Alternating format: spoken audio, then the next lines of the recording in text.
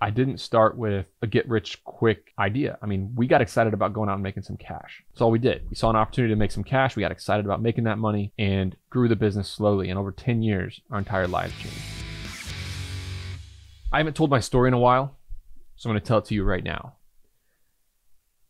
I was born in southern Indiana to um, my mom was an RN, a school nurse, and my dad was a construction manager for a, a local real estate developer. Um, we were middle class, and I went to a public school, and I didn't grow up in the country club era. I didn't grow up with neighbors and friends that were multimillionaires, but my dad understood business. And when I was in sixth grade, he 13 years old, yeah, sixth grade. Well, how old was I in when I was 13? Maybe fifth grade or fourth grade. He, uh, his boss called him into his office and said, Tim, um, the guy who mows all the lawns for our commercial properties in town here um, has had a health problem. He had a heart attack. He's fine, but he can't mow the grass anymore. We gotta we gotta find a company that can do this. Can you you know look around town and see if you can find somebody who can mow these lawns? And my dad, the excitable uh, optimist that he is, he said, "Oh, my son Nick can do this work. Uh, you know, he'll get a lawnmower, and I'm going to teach him how to do it. He'll run his own business." But I was 13, so um, he took me to town, and we're not talking about a small job. We're talking about probably 20 hours a week of mowing, um, seven commercial properties, three multifamilies, and the rest shopping centers. And um, this was also 15 minutes away from my childhood house. So my dad put me on, set me down at the kitchen table, taught me how business was meant to work, and told me that he would lease my uh, the family mower to me, lease the family mower to me for twenty dollars a week, and uh, he would buy me a trailer and put me on a, a little lawnmower trailer to, to, haul behind a truck, and put me on payment plans for that, and he'd also lease the truck to me for 20 dollars a week and I didn't have my license, so I also had to pay my mom uh, ten dollars an hour to drive me to town. This was in 2003 or 2001, two. Um, this all went down and get to town. It's July. It's 98 degrees in southern Indiana, and I started mowing. I got in the first shopping center. I started mowing, and there was so much trash in the grass. I didn't pick up the trash in advance. I had no idea what I was doing, and I was just making clouds of trash. And my dad pulled me off the mower and said, "You can't do that. You know, we got to pick up the trash." And at this point, the trash was instead of about 75 pieces of trash, we're talking about you know fast food bags, um, cups, styrofoam cups. Um, instead of about 75 pieces of trash at this point, there were 75,000 pieces of trash because I had mowed it up and shoot it up, and I had to go through and pick it all up was hot, sweaty. I was 13 years old, and I, I just cried and told my dad that I, I quit. I'm not doing this. This is ridiculous. It's hell. Why why am I out here doing this? Um, he pulled me in the truck. He put an ice towel on my neck and said, you know, you're not allowed to quit. We're gonna find a way to make this easier, but I'm not gonna let you quit. So he took me over. We got some ice cream. We calmed down. I, I went back out. I finished that first job. And then when we got home, I got to bill for that day's work, and I did some pretty basic math and realized I was making about 35 to $40 an hour as a 13 year old mowing grass after paying my mom to sit in the truck and after leasing these cars or equipment. Um, I got tired of paying my mom about six months later, so I went to the high school uh, hallway at school and I put flyers in every locker that said, you know, work with me for $15 an hour, show up at my house and drive to town, must have a driver's license and the ability to run a weed eater. Um, a week later, I hired a kid to show up at my house, drive the truck for me. I was going to pay him $15 an hour, but he was going to help me. My mom just sat in the truck. That was frustrating for me. He was going to help me. Um, and I very quickly got a crash course in business, how to solve problems, how to think about problems, what to do when, you know, your mower breaks down and, or it's raining or you got something that you want to do and, but you got work to do. Fast forward to 2008 when I went off to college, I had about 40 grand saved up. It was awesome. Um, went to college, no idea what I wanted to do. I ran track at Cornell University. Um, ended up having a pretty good track career there. And junior year during finals week, I posted my apartment on Craigslist and posting it on Craigslist, wanting somebody to come and rent it from me over the summer because I was going to be gone. Um, instead of somebody renting it over the summer for me from me, they wanted to store some stuff in my apartment. This mom was frustrated with this local, uh, this kid's mom, who was a, also a student at Cornell, was frustrated with the local company and said, Nick, I don't want to lease your apartment, but I'll give you 150 bucks if you come and pick up my son's stuff and store it in his apartment all year. Well, I learned a lot from that job because I agreed and went to pick it up, and it was twice as much as she said. I filled up half my room. And then I had realized, damn, now I can't lease this. I might as well try to get more customers this same way. So I went around town with some flyers, put, you know, pick up and delivery student storage on, on these flyers, and the phone started ringing. And I started driving around picking up people's stuff. And before I knew it, my room was full. Then my buddy, who was from California, he was about to leave town. Um, he had no subletter over the summer. His room was full t- too. I filled his room up with stuff and gave him a cut of the money. Same with the other two rooms in the apartment. And then I was out of space. So I went to College Town where my par- business partner now, uh, Dan, my business partner who owns uh, half of everything that we do in self storage business, he uh, had a big, big uh, building, and I was moving into it the next year.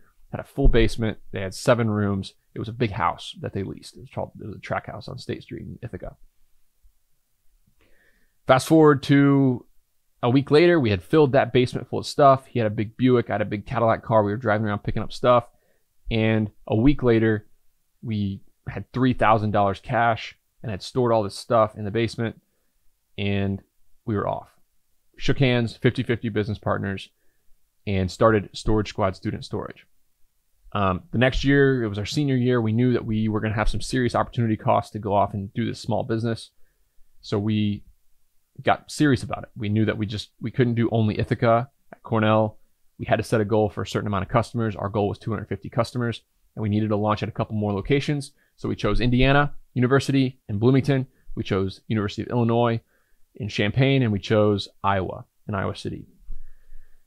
Uh, we had friends at those locations. Dan had a first cousin at Illinois. I had a good friend at Indiana. Dan's uh, best friend from college or from high school was at at Iowa. We did revenue sharing plans with them. We used student loan money to buy three vans, one for Ithaca, or four vans actually, one for Ithaca, um, one for each of those locations. We went around on Craigslist and bought them for about fifteen hundred dollars a pop.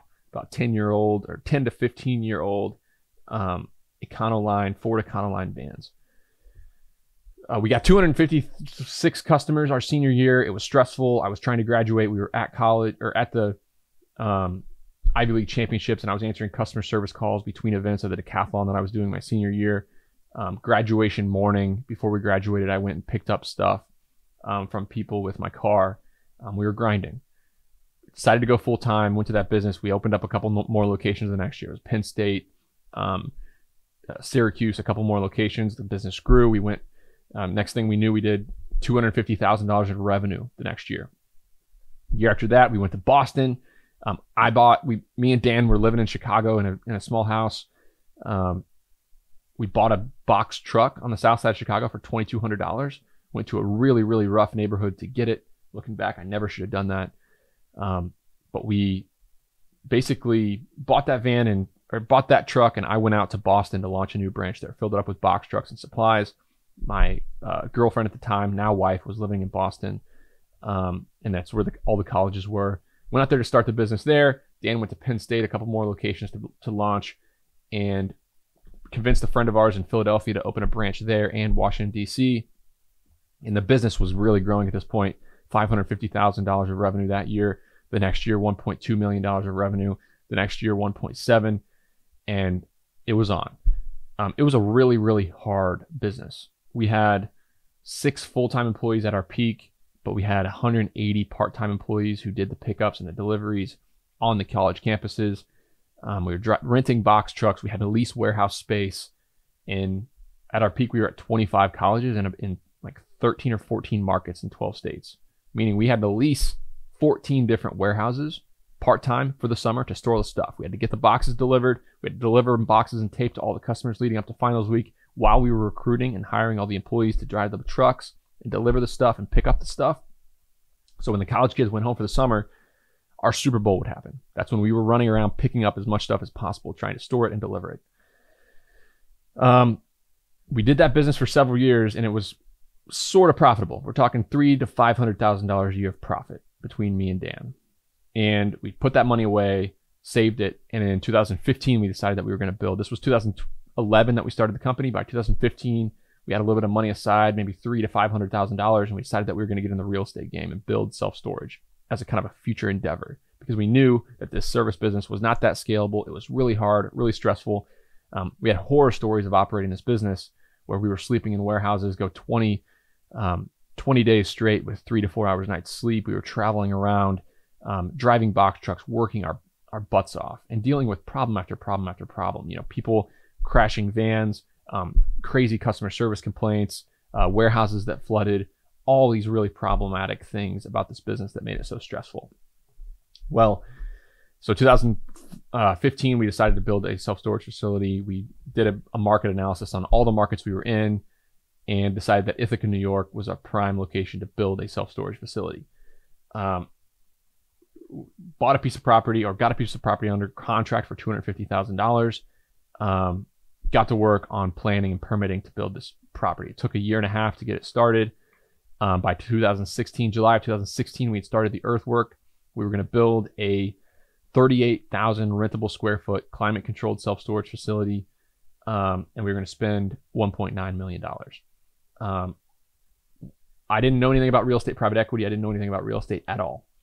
My first job was to go find bankers to loan us this money. We needed to borrow 1.3 to 1.4 million, 75% LTV loan on this first deal. Um, went around and talked to 20 bankers in the area, and we got turned down, but all but one. I showed up with a ton of underwriting materials that were, looking back, uh, not very good.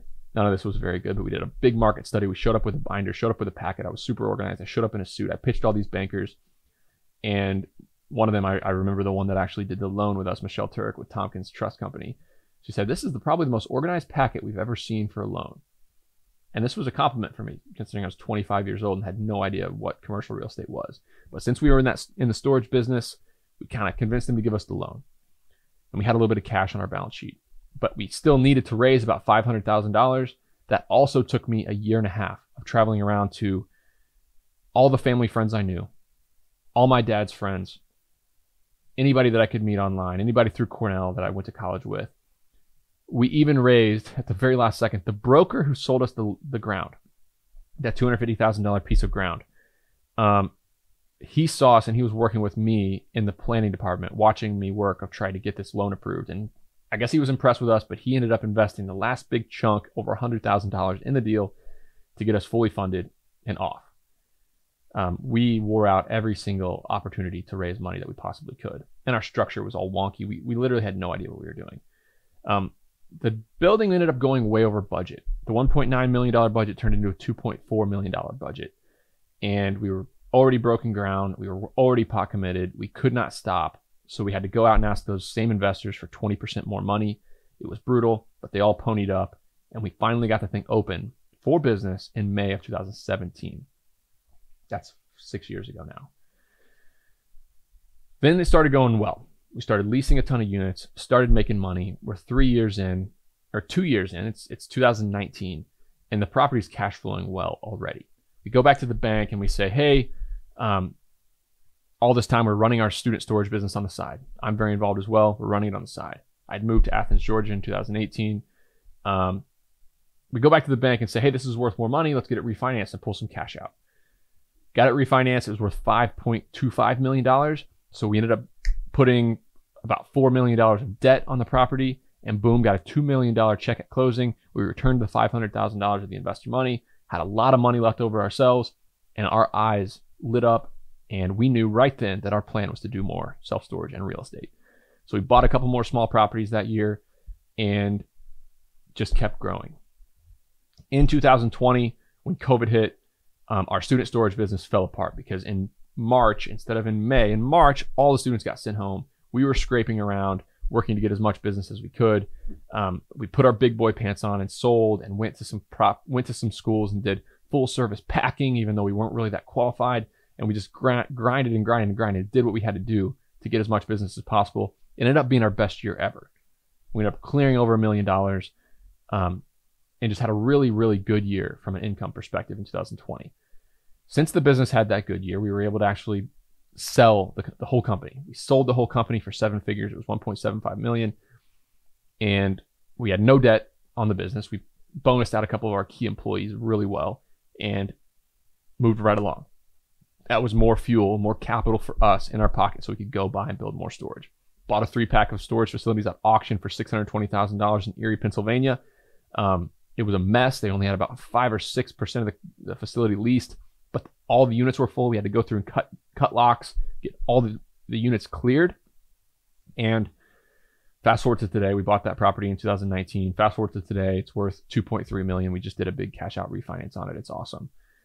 Um, bought another small property across the street from our first one in Ithaca, combined them together, did another refinance just six months ago in Ithaca at a at an eight point three million dollar valuation. Another huge win for us and our investors up at that very first property. Um, and the rest is history. I got on Twitter and started tweeting right after COVID or right around COVID time.